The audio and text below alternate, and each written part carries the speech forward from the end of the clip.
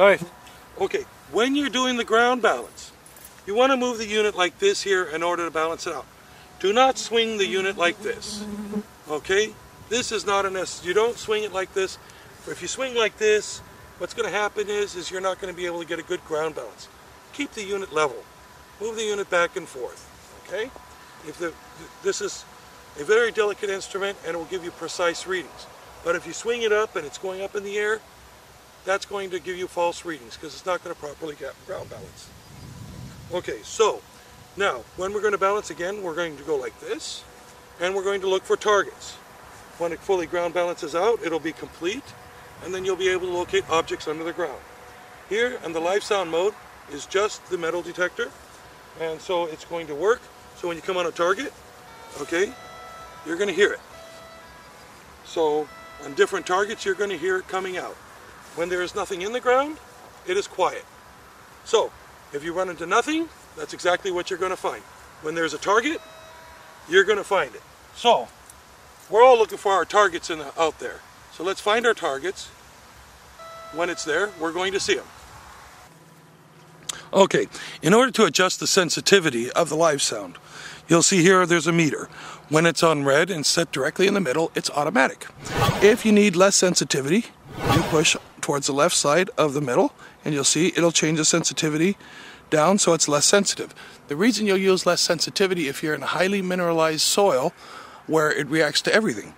And if you're in other soils which are very clear, you can increase the sensitivity to the other side to look for more smaller objects. So when it's in the middle and it's red, then it's automatic and it's made for fairly much neutral soil.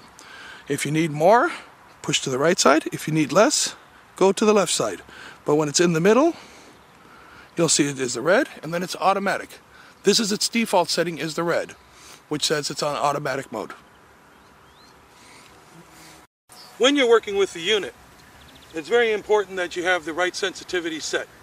If you're on a highly mineralized soil, the unit may go off the entire time, which means you'll need to change the, the sensitivity. So here on the screen, you'll be able to change that just by touching to the left or the right of the scale, and it'll show you uh, the different sensitivity marks, and you can change it. Okay?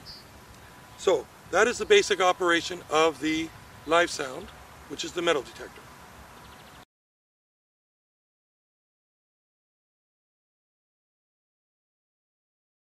Okay, when you're doing the scans, we do have some electronic interferences, like telephones. So if you see a telephone like this, and it wants to light up, what you're going to do is just take the phone, and you're going to throw it away. So once it's gone, you will have no more electronic interferences. That's okay, it's my boss's phone, I can throw it. Alright, the next function I'd like to explain is the function here called 3D scan.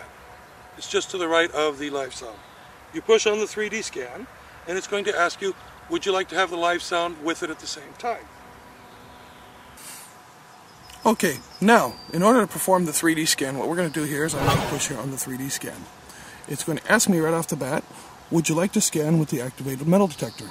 Either yes or no. In this case, I'm going to say yes.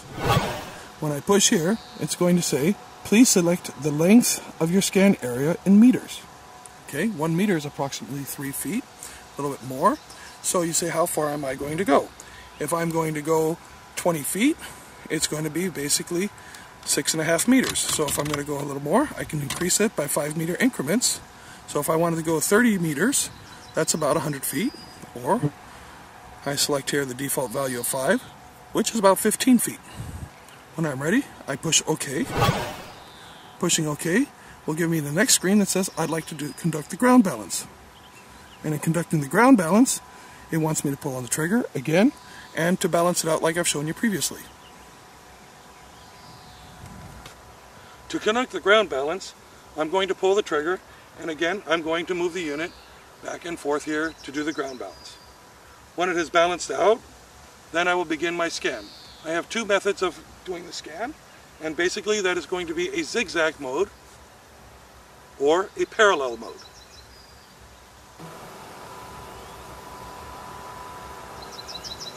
Okay, so now that we've turned on our, our 3D scan mode, we've set it with metal detector on, I'm going to start my scan row. My first row is going to go forward. I'll come to the end.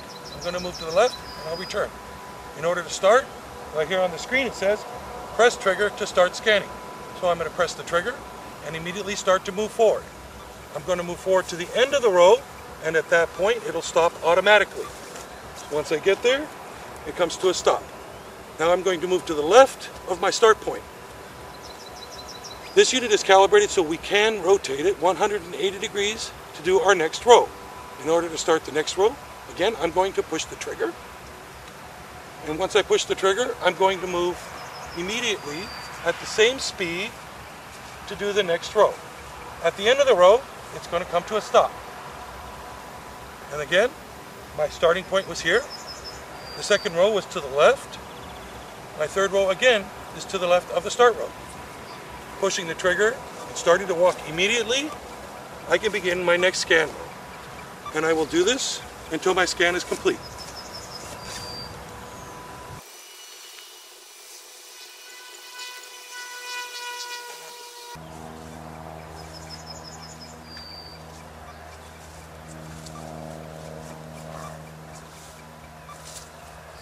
Now, once I've completed my scan, I'm going to come over here and I'm going to push the red X in the corner to stop it. And at that point, it's ready to download to the PC. In order to download to the PC, I'm going to, of course, turn on my Visualizer 3D software, and then I'm going to select Memory to PC. This one will transfer the scan data from the control unit to the PC via Bluetooth wireless. Alright, what I'm going to demonstrate now is the parallel mode. In order to run the parallel mode, again I've selected 3D scan.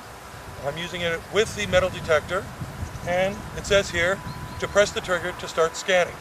I'm going to press the trigger and as soon as you press the trigger you start to move forward. You go to the end of your scan line. Once the unit stops, then you see it stops. I'm going to return back to the beginning So once I'm at the beginning of my scan, I'm moving to the left. This way I can get the best possible scan and the best accuracy on the data. To start the next scan, I push the button, and again, I will go until it stops automatically. Once it stops, to the beginning again. I now move to the left, push the trigger again, and the scan will continue and I can repeat this process until my entire area is finished.